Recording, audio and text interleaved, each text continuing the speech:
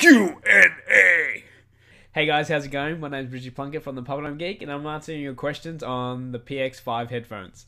So now lately, over the last two weeks, I've been getting a lot of questions on both my videos on the unboxing and the overview of the PX5s. Now I chose a couple of questions. It's not much, but because I've went through, you know, basically nearly everyone's questions, answered them, so I didn't really think, you know, uh, I didn't have to make another video about that. But I thought I picked out the most important ones, and I thought it might help someone else uh, coming along, and you know, they, they can just watch this video.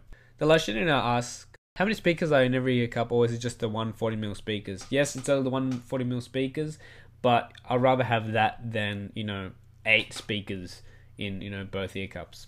Chronix Ganesh asks, how much were they? I want. Um, basically, they're $250 each US from Turtle Beach website. Um, from Australia, they're about $300 retail from basically any retail store. They're probably maybe $295. I can see them dropping about that much. Maybe later in the year, I see them dropping about going down to 250 um, to compete with the American price, and then probably the American one going down to 200 but yeah, I recommend getting them from Amazon. I heard a lot of people getting them from there and getting it for a decent price and also with free shipping. So Go Amazon. Ben Dog asks, did they remove the slight hissing noise? I believe so they did. I haven't experienced any problems yet with the actual headphones, so I can't really say anything bad about the headphones yet, um, in sound quality wise. But yes, they have removed the slight hissing noise. Um, I would say they would because I don't hear anything. But yeah, so they removed it. Okay, Shopboy247 asks, can you record with the PVR while using the Turtle Beach PX5 headset? Yes, you can. Um, but I'm not too sure on the Xbox 360. I'm not too sure how the sound settings works on the actual console. But I can actually talk about the PlayStation 3. Now, what the PlayStation 3 offers is you can actually split the sound. So what you want to do is connect your optical cable through your through to your headphones transmitter, and then have your HDMI cable or your um, what's the, you know the old classic one, the component um, cable connected, which have your red and white um, sound, stereo sound. And all you do is go to sound setting, hit um, split sound, hit yes, and away you go, and you're set. Nothing much to it. Dana asks, so how's the battery life? Hours? Do they do you get annoyed changing them out? And do you see the battery cover lasting?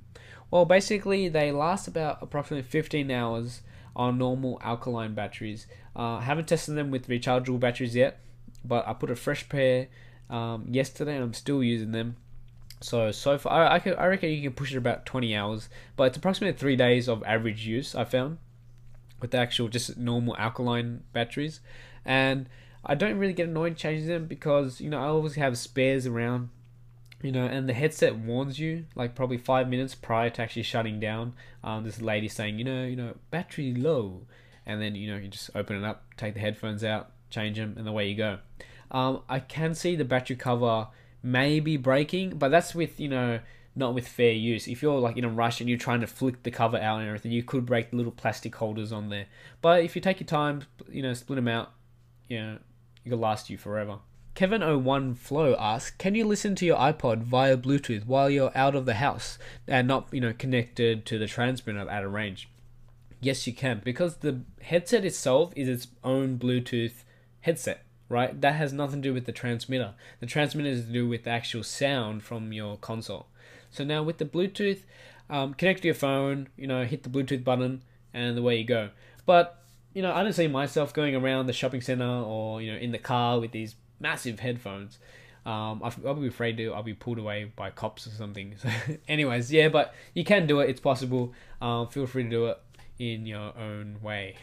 Flash Games 248 asks, You didn't even say anything about if it's comfortable. I know I didn't. Uh, I did have to cut that out because my video was getting really long. Um, so I did cut that out because I thought I'll keep it down to sound quality. But because I did get a lot of questions on this, I'm going to answer you. Headphones are extremely comfortable. Um, you know, you got the soft padding on the top, you got soft paddings around the ear cups. They're really good quality headphones. But the downside to it is I did find playing after hours, it did feel a little bit heavy. Um, I'm not too sure if that's the ear cups or anything, but you know, I don't know if it's just me. I'm not too sure. You might you might as well you know talk to other people who actually got the PX5 headphones and sort of just ask them and see what you know everyone else is saying, and then come to a conclusion because you know everyone has a different preference. Uh, in terms of headphones, you know, some people don't like wearing over the ears, some wear like wearing you know in ears, and so forth. But for me, I can play them for hours in, but after a while, it does feel like you know I have to take them off and let my ears breathe. Okay, so that's it on the Q and A's for the PX5s. Now I hope you guys like this sort of video. Um, you know, I wasn't too sure if I should do this because I did answer nearly everyone's questions, and it wasn't really a main concern to actually make this video. But I thought I'd make something different, and if you guys really liked it, please thumbs up the video. Uh, it really helps me out in terms of getting recognized and you know the video being pushed out there. But if you guys want to see more Q and A's, um, yeah, just post a comment down below. If you have any other questions regarding the PX5s or anything else, please post a comment down below, and I'll try to get to you as soon as possible. But what do you guys think? Do you actually like this style of video? So once again, I'd like to thank all my new subscribers and thank you for subscribing. Thank you for watching my videos. I really appreciate it. And thank you all my previous subscribers, you know, for staying with me. So hopefully we can get more videos out soon for you guys. And yeah. Anyway, guys, I'll catch you guys later. Follow me on Twitter or check out my Facebook page. And I have a question for you guys. What's your favorite game? Okay, you can post your comments down below or on the discussion board on Facebook. Anyways, catch you guys later.